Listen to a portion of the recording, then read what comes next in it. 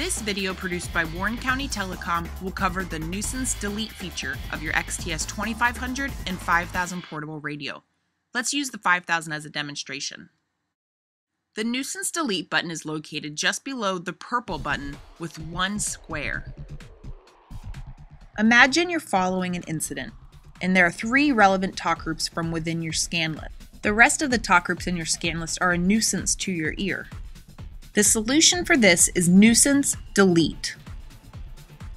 When a nuisance talk group becomes active, click your nuisance delete button and it will remove them from your current scanning session. Repeat the nuisance delete every time an unwanted talk group becomes active until you're only down to the three relevant talk groups. To reset your scan list to include all talk groups, simply change any function on your radio or power off then back on.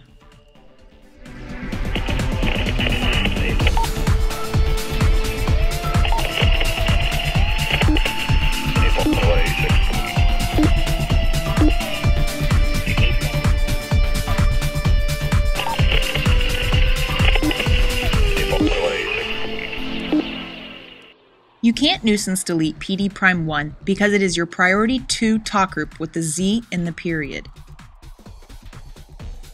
Turning to the XTS 2500, you can see the button is located below the push to talk button, but it still has that one square.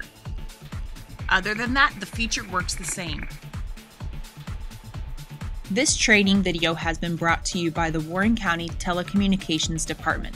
For further help, please contact Telecom's Help System by emailing help at wcoh.net or call us at 513 695 HELP. You will choose option 5 for radio systems or option 3 for the training specialist.